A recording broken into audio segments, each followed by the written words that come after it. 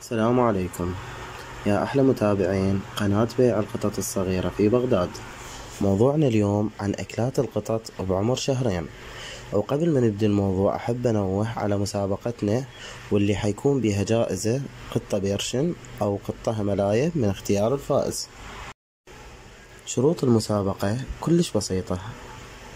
هي إنه تسوي اشتراك للقناة وتسوي share للفيديو الخمس جروبات بالفيسبوك أو أكثر هم بعد أحسن. وتدز الصفحة مال فيسبوك التابعة للقناة إنه كملت الشروط على مود نسجل اسمك واسم الصفحة على الفيس pet shop بغداد. نرجع لموضوعنا الأساسي اللي هو غذاء القطط بعمر شهرين. طبعا غذاء القطط هو العنصر الأساسي اللي يحافظ على سلامتهم من الأمراض. بعد ما تعدي القطط مرحلة الفطام حتعتمد على الغذاء اللي يقدم لها المربي ولازم الأكل يكون صحي. على مود أمعائها ما تتأذى وتدخل بمشاكل أنت في غنى عنها. وهسه حقسم لكم الوجبات على مود تصير سهلة وتقدرون تكتبوها وتسووها جدول يعني تسهيلا لكم. يلا حضروا ورقة وقلم وسجلوا. الوجبة الأولى. الوجبة الأولى نسميها الريوق أو الفطور الصباحي وحيكون بيه ثلاث أصناف ممكن تنطيها بالريوق. أول وجب أول شي الجبن المثلثات تنطي جبناية كاملة. إذا ماكو جبن مثلثات ممكن تنطي بيض مسلوق بياض وصفار تبرشة وتعطيه إياه أو تعطيه زبادي أكتيفيا. إيش عندك؟ خير وبركة.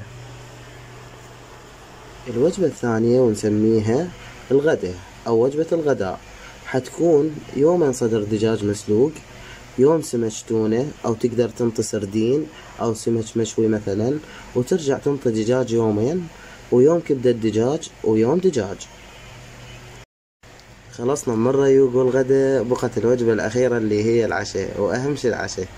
الأفضل بهالوجبة تنطيها أكل جاف المخصص بالقطط الصغيرة اللي هو ال dry food.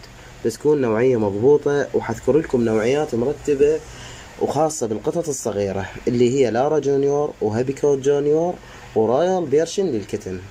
وأكيد أفضلهن الرويال Persian فوائد ال dry food كلش هواية وهو بصورة عامة يشبع كلش. الكمية اللي تنطوه إياه بكد جف الإيد تخلون بالماعون وها هي. طبعا الوجبات هاي ممكن وجبة الريوق تتقسم نصين ووجبة الغداء نفس الشي هم تتقسم نصين. قبل ما تنام تخلي ال dry food يم القطة من الجوع تاكل براحتها. أحب أنوه على شي إنه أي أكل غير ال dry food لازم يتقدم دافي. لا بارد لا حار ولا يبقى يم القطط أكثر من ربع ساعة لأن يجمع عليه البكتيريا وحيضرها ما ينفعها. هاي بالنسبة للأكل خلصنا. ندخل على موضوع المي.